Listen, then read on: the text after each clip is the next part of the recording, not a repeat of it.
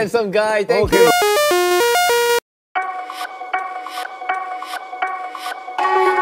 Jin's hairstyle in the Soop Season 1 is a trendsetter. You definitely want to expect what I found.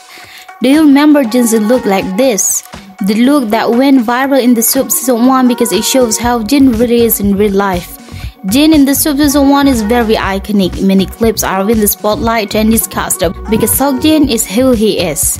Army can also find out how BTS members divide tasks, uh, how they manage togetherness.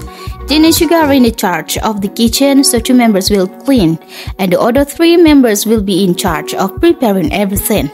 Counting how compact the BTS members were with Jin as their guide. When Jin's iconic in the Soop Season 1 made a big impression. Jin woke up the members when it was morning by hitting Jungkook's punching bag with any object.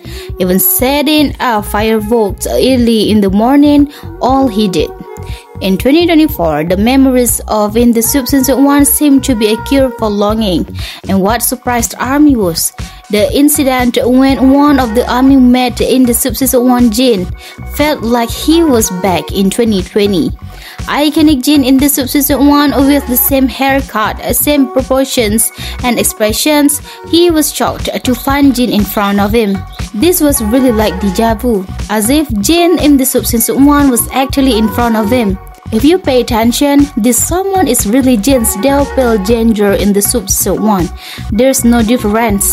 It's not known where the video was recorded, but it's known that the recording has been circulating since 2023. How's the army? It's like you've gone back in time, right? Or are you sure it's in?